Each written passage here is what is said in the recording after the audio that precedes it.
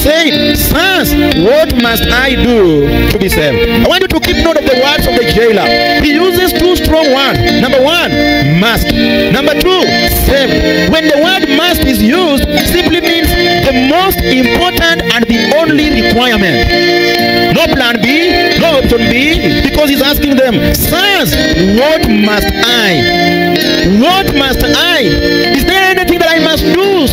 To heaven? Is there anything that I must do so that I can see the kingdom of God? Is there anything that I must do so that I don't go to hell?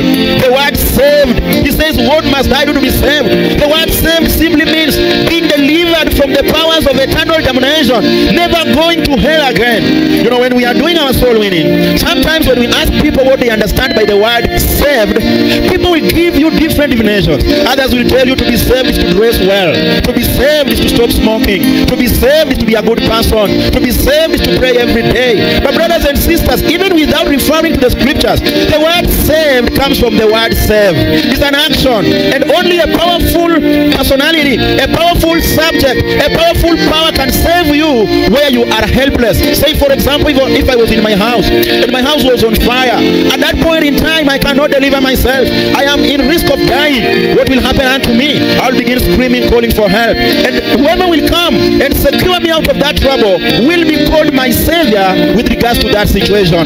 This man is asking Paul and Silas, what must I do to be saved? What is the requirement, the must requirement that I'm supposed to do so that I never go to hell? So if you are getting me right, this is the point. This is a man who is asking a question to Paul and Silas because he does not want to go to hell because of his sins. Number one, in that question, he realizes that he's in danger of going to hell. You know, when you begin to ask someone, what must I do to, to be saved? What must I do to go to heaven? It begins from you being informed that, hey, you are in danger. The probability, the chances of you going to hell are high. Any sin that you have ever committed in your life is enough to take you to hell.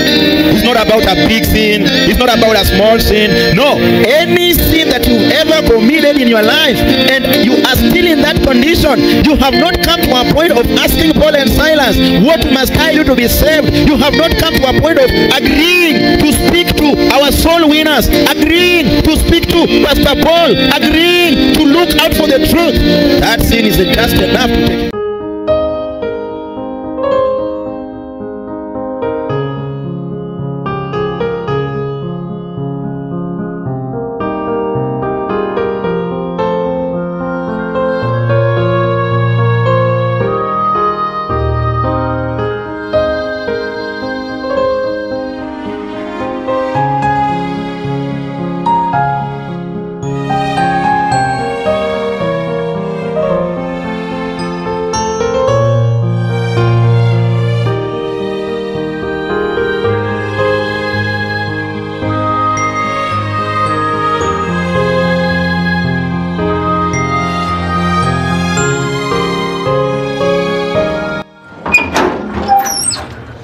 How are you, Mama?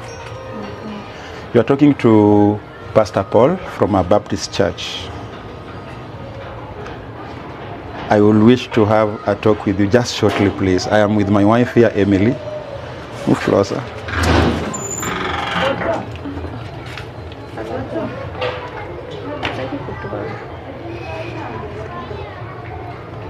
Hello, Mama. Okay. She's coming.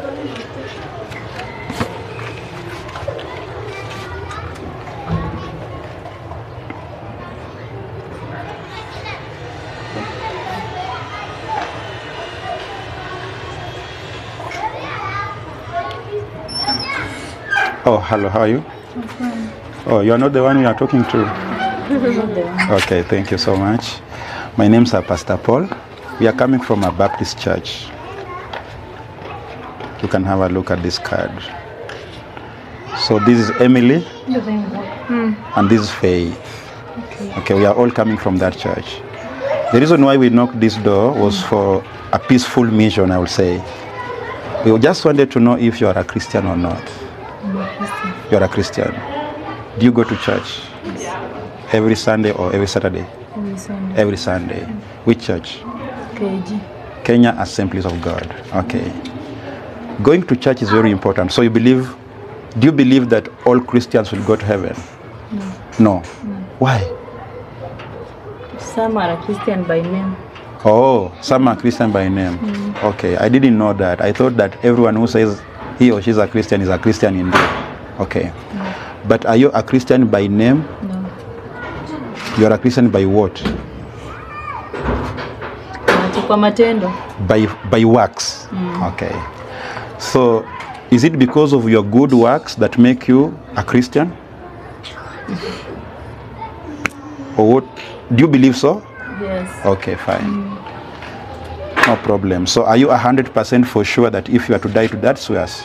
Are you 100% for sure? Because now you are a Christian who believes in works.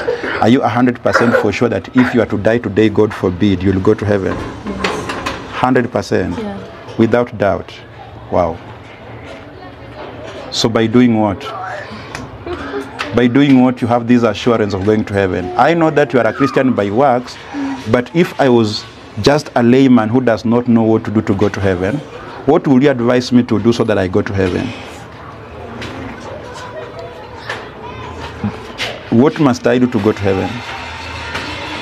You do good. You do good things. Mm. Okay. Now, allow me to show you something from the scriptures, and then we can reason together. Matthew 7 21. The Bible says, Not everyone that saith unto me, Lord, Lord, shall enter into the kingdom of heaven, but he that doeth, mark this, the will of my Father which is in heaven. So Jesus is saying, saying Lord, Lord will not take anyone to heaven, but the person who does the will of his Father. All right? Then he says, Many will say to me in that day, Lord, Lord, have we not prophesied in thy name? Is prophesying a good thing or a bad thing? According to you, good- a is a good good thing, isn't it? Mm-hmm. Then, so they are telling him, Have we not prophesied in thy name? And in thy name have cast out devils. That means demons, okay? Mm-hmm. And in thy name done many wonderful works. Wonderful works simply means good works.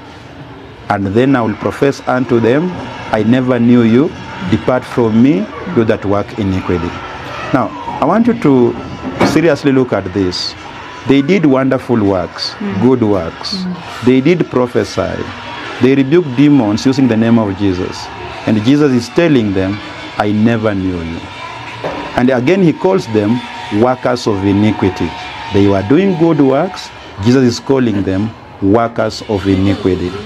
Help me understand that. Because how is Jesus calling them workers of iniquity, yet they are doing good works? This is the problem. They focused on doing good works, they focused on prophesying, doing all these things in the name of the Lord, but never did the will of the Father. Okay? Hmm. Now that you told me you are 100% sure when you die, you'll go to heaven. Do you know what the will of the Father is? Because look, here if people are doing good things, Jesus tells them, I don't know you. Where's the problem? They have not done the will of the Father. Mm. Do you know what the will of the Father is?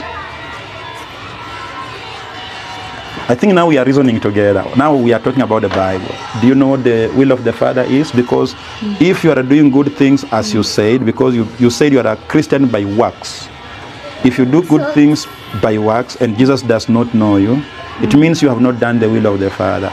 Do you know the will of the Father? No. You don't know. Now let's start from there. If you don't know it, are you still 100% sure when you die you'll go to heaven? let's be sincere here. If you don't know the way to Nairobi, okay? green, yeah, yellow. If you don't know your way to Nairobi, will you still say you can reach Nairobi 100%? So if you don't know the will of the Father to go to heaven, are you still insisting that when you die you'll go to heaven? With your works? Do you still believe so? You don't, isn't it? Okay, let me show you what the will of the Father is. Do you want me to show Let you? me bring my Bible. Okay, bring it, please.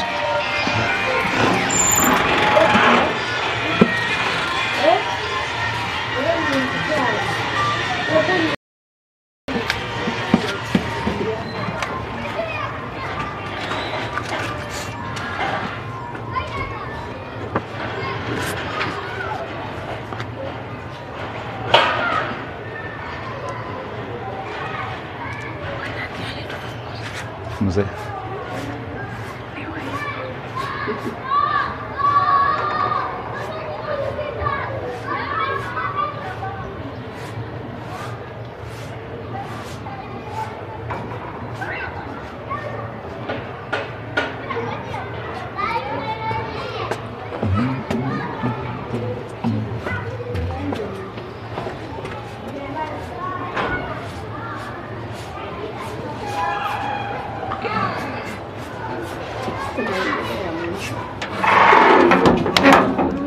Allah.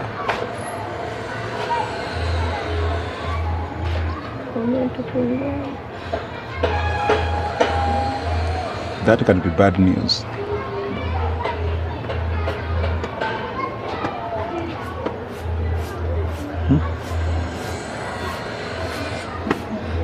Hmm?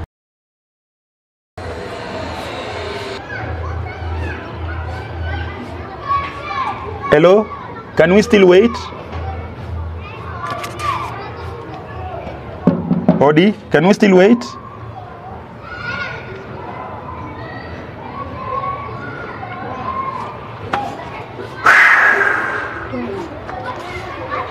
Wow. Okay. The Bible is not coming. Fine.